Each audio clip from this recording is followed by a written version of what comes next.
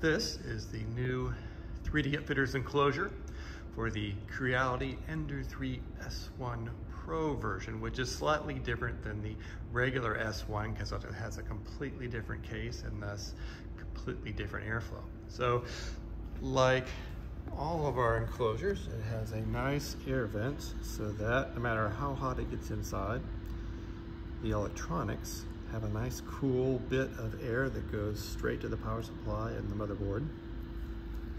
Like our other enclosures, it has the control panel outside so you can change settings without having to open the door. It also has a nice mount for the filament runout sensor, top mounted spool holder with a nice support beam. Uh, in the back here, we've got a nice slide out grommet so that you can take the enclosure off without disconnecting any of the electronics. And it also, if we go around the other side, it also has a nice access door from the left-hand side so you can get in and mess with things quickly without having to go through the front.